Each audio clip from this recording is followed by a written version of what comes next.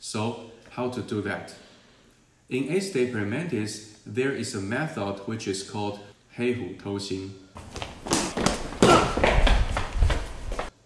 In English, it is called The Black Tiger Tries to Steal Your Heart. In the video, you can see that the opponent who is under my attack when I use The Black Tiger Steals Your Heart the opponent stepped back forwards several steps away.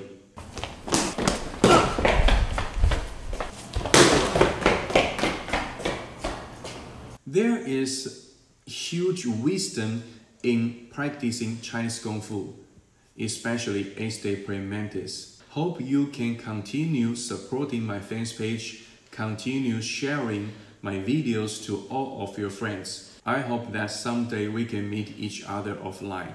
I'm Leon Chu.